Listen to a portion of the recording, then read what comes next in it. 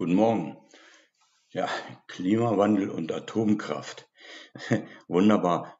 Ähm, ich zeige euch dann, und das verlinke ich euch ganz zum Schluss auch nochmal und natürlich unten in der Videobeschreibung, wie fit ist Atomkraft für den Klimawandel, fragt Simeon Preuß.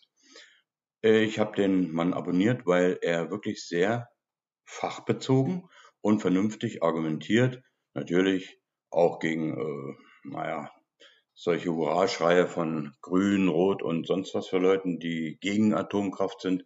Aber das ist wie immer, wenn man nichts weiß, ja, dann fällt man irgendwelche Urteile aus dem Bauch heraus.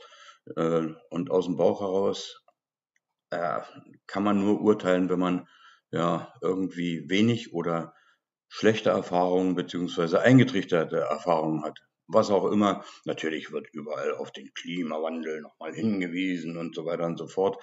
Unwichtig, mir kommt es vor allem darauf an, dass ihr dann jetzt, müssten gleich die Links erscheinen, auf dieses Video geht und euch bildet, denn Simeon Preuß erklärt wunderbar die Lage erstens, zweitens, wie ein Atomkraftwerk funktioniert und geht eben auf solche Sachen ein, die alle wichtig sind, um wirklich dann auch aus dem Bauch heraus, weil man nämlich mehr Wissen hat und natürlich von seinem eigenen Verstand urteilen zu können, wie die Lage ist. Na dann, passt ja wunderbar zur heutigen Zeit.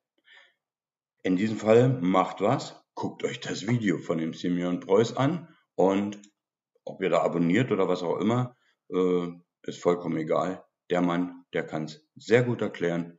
Ich glaube, der ist auch Physiklehrer, ein Kollege sozusagen und hochverehrt von mir. Wunderbar.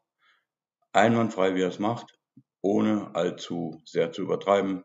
Ich find's gut. Na dann. Also, macht was, aber macht's gut. Bis dann. Tschüss, tschüss.